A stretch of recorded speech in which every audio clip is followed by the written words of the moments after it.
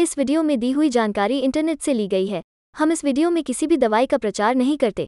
किसी भी दवाई को इस्तेमाल करने से पहले एक बार डॉक्टर से ज़रूर सलाह लें। अगर आप इस वीडियो को देखकर किसी दवा का उपयोग करते हैं और आपको कोई साइड इफ़ेक्ट होता है तो उसमें हमारी कोई ज़िम्मेदारी नहीं होगी। मैप्रिट 10 मिलीग्राम टैबलेट शरीर द्वारा प्राकृतिक रूप से बनाए जाने वाले प्रोजेस्टेरॉन हार्मोन जैसा ही है। यह पीरियड्स को नियंत्रित करता है, अनियमित ब्लीडिंग को रोकता है और एमेनोरिया, माहवारी न आना पीरियड असामान्य तरीके से बंद होना के मामलों में ब्लीडिंग को रोकने में मदद करता है। मैप्रिट 10 मिलीग्राम टैबलेट को डॉक्टर की सलाह के अनुसार लिया जाना चाहिए। आपका डॉक्टर यह निर्णय लेगा कि आपको कितना और कितने समय तक लेने की आवश्यकता है।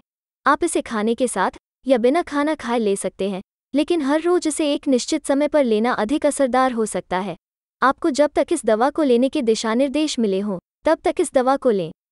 इस दवा के सबसे आम साइड इफ़ेक्ट में सिर दर्द, पेट में दर्द, कमज़ोरी और चक्कर आना शामिल हैं।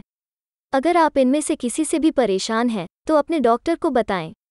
उन्हें कम करने या रोकने के तरीके हो सकते हैं। इससे अनियमित माहवारी ब्लीडिंग या माहवारी के बीच में स्पॉटिंग भी हो सकती है। अगर ये बार बार हो रहा है तो अपने डॉक्टर को बताएँ।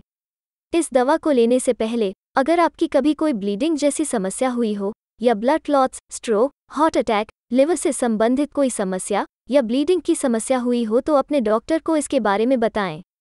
आपके डॉक्टर को अन्य सभी दवाओं के बारे में भी जानना चाहिए जो आप ले रहे हैं, क्योंकि इनमें से कई इस दवा को कम प्रभावी बना सकती हैं या इसके काम करने के तरीके को बदल सकती हैं। गर्भवती और स्तनपान कराने वाली महिलाओं को यह दवा नहीं लेनी चाहिए। वीडियो के डिस्क्रिप्शन में दिए हुए वेबसाइट के लिंक पर जाकर आप इस दवा के बारे में और ज़्यादा जानकारी प्राप्त कर सकते हैं। अगर आपको यह वीडियो पसंद आए हो तो कृपया इस वीडियो को लाइक करें। अगर आपका कोई सवाल या सुझाव है इस दवा के विषय में तो आप कमेंट में बता सकते हैं। अगर आपको ऐसे ही और दवाइयों की जानकारी के वीडियोस देखना पसंद है तो इस चैनल को सब्सक्राइब करें। साथ ही नोटिफिकेशन बेल को आल नोटिफिकेशन पर सेट करें। धन्यवाद।